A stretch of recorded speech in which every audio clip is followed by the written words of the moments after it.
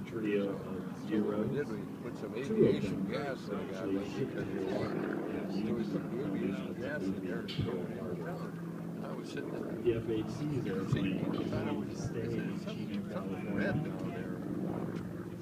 Received a modification for got outside. a zero as a two-seater, it received a back seat. red.